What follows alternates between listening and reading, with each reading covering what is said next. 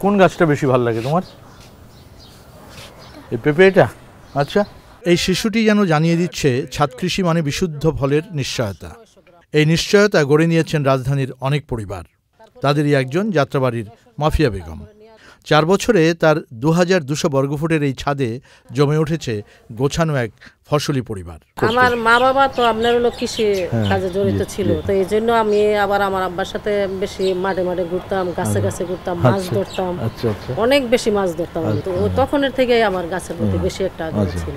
আপনি যেভাবে প্রচার করছেন এইভাবে প্রচার করলে মোটামুটি আমাদের ছাদ ভরে যাবে। এখন গাছ আর ফল ফসলের সঙ্গে মাফিয়া বেগমের তৈরি হয়েছে আত্মিক এক সম্পর্ক।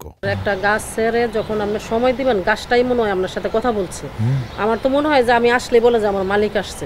তা আমার এত মায়া লাগে যে একটা পাতা ছিঁড়তে গেল আমার মায়া লাগে। এ ছাদে জোরে সরে চলছে জৈব কৃষির চর্চাও। আমার এই যে এটার ভিতরে সব আমি ড্রাম ভরি ভরার পরে যখন পচে যাবে এখন মোটামুটি সার হয়ে গেছে। হয়ে হ্যাঁ হয়ে গেছে। নিজের ছাদের কৃষি ফসল বা উঠোনের এক চিলতে বাগান যেটাই হোক না কেন, সেখান থেকে উৎপাদিত ফল, ফসল, শাকসবজি পুরোটাই আলাদা। মেটায় পারিবারিক চাহিদা, পুষ্টি এবং স্বাস্থ্যকর খাবারের। একই সাথে সরবরাহ করে অক্সিজেন।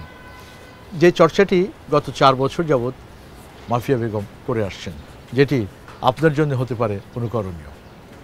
ঢাকার যাত্রাবাড়ির মাফিয়া বেগমের ছাদ কৃষি থেকে শাহিক সিরাজ চেন্নাই